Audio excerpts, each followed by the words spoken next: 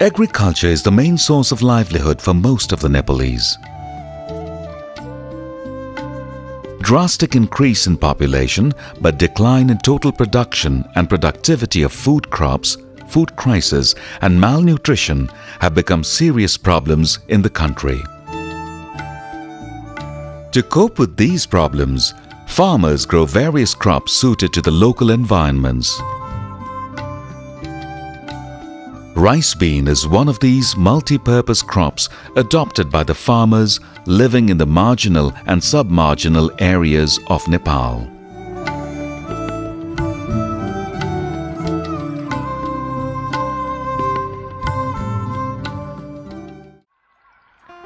Rice bean is known by several local names such as Jhilinge, Siltung, Guraus, Ghoremas, Ratomas, Setomas in different parts of the country.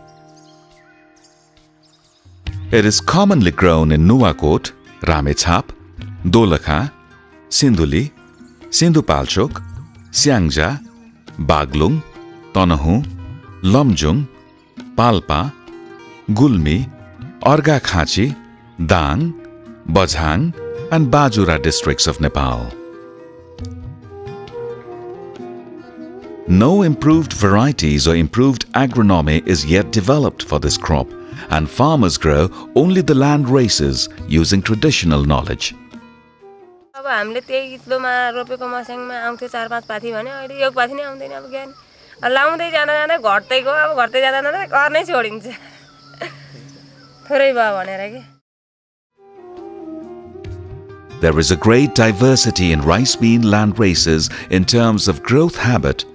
maturity period, yield potential, seed color and size, and taste. Some land races like Bhadaure Sano, Tulo Pohelo, Chirke Mirke Tulo, Rato, and Kalo are some of the popular rice bean land races. Rice bean prefers red soil and it is a drought-tolerant crop. It yields better in the sunny south-facing aspects. दौरो दौरीमा यस्तो Geiger भठा त्यस्तामा छर्छौँ क्या तर यस्तो गहिरो बारीमा हामीले लगाउनौँ कहिल्यै पनि अब यस्ता मोलिलो जग्गा लाएर त हस्किन्छ मात्रै भनिन्छ त्यसलाई त उक्काएर फाल्ने मात्र हो त घाँस मात्रै हो खान पाइँदैन भनेर त्यही रुखमै छर्छौँ Rice bean is grown most commonly either as a mixed or an intercrop with maize. Planting few rice bean plants in home gardens and uplands around homestead is also common. It is also grown on rice bunds and margins of maize field in the uplands. Farmers perceive that rice bean has less diseases and pest problems compared to other grain legumes. However, powdery mildew, rust and bacterial blight are the common diseases observed in rice bean.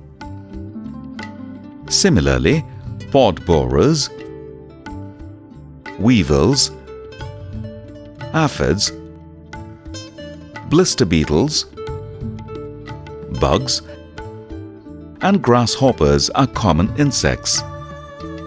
Rice bean matures in about 120 to 150 days. As the maturity of the pods is not synchronous, it requires two or three or sometimes more pickings. Seeds are dried in the sun for three to four days before storing.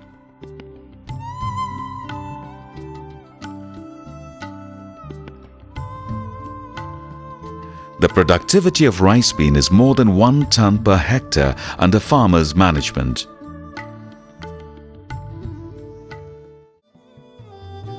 Rice bean is rich in protein, vitamins and minerals. Its proteins are high in amino acids like lysine, valine, tyrosine, tryptophan and methionine that make rice bean an excellent addition to a cereal-based diet. Dried rice bean is used for making various local recipes like dal, botuk, bara, biramla furola, kwati, sil roti, and khichdi. The green tender beans are mixed with other vegetables. Rice bean is valued as a nutritious fodder. It enriches soil fertility from the addition of biomass into the soil and also by fixing atmospheric nitrogen. It also reduces soil erosion and is often used as a cover crop. मस्याङ हाम्रो यो बाख्रा पाठा गाई भैँसी सबै चिजलाई खुवाउन उपयोग हुन्छ अनि खुवाउँदा त्यो पोसिलो हुन्छ हामीहरूले पनि अनेक परिकार बनाएर खान सकिन्छ अब माटो मोलिलोको साथै अब माटो बगाउनमा पनि बचत गर्छ मस्याङ चाहिने अरू मकै कोदो धानहरू खेतीलाई जस्तो चाहिने त्यति जग्गा तयारी गर्न नपर्ने जस्तो जग्गामा पनि उत्पादन दिने अनि त्यसको लागि चाहिँ गोडमेल धेरै हेर्न पर्ने गोडमेलको काम पनि आफै गर्ने It has several social, cultural, and ritual values. It is considered as a sacred legume, and its grains are offered to deities during several ritual functions. For example, as Biruda in Gaura Parva festival in far western Nepal, as Kwati during Janai Purnima, and as Samay Baji during Indra Jatra and other Newari festivals.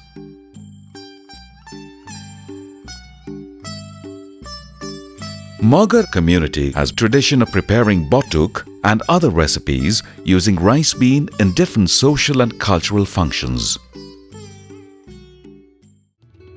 In recent years, rice bean is also getting better price in the legume markets due to the increase in the price of black gram, lentil and other legumes.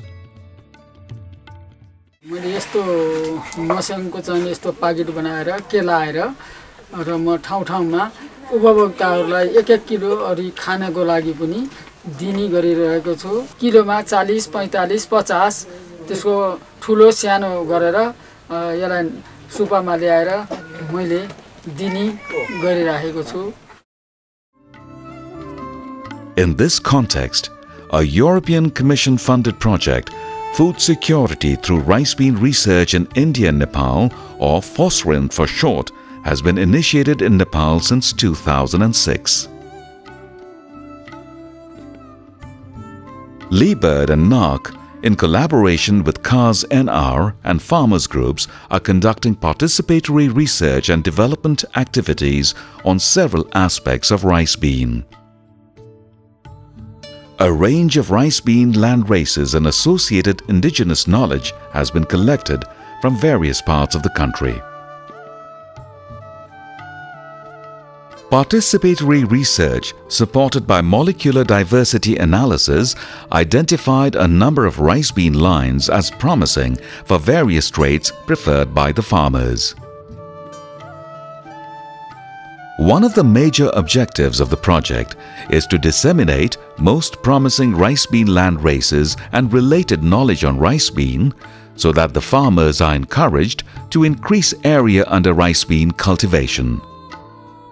It is hoped that efforts of the project will support to reintegrate rice bean in cropping pattern and thereby enhance food and nutritional security of poor farmers living in the marginal and complex environments.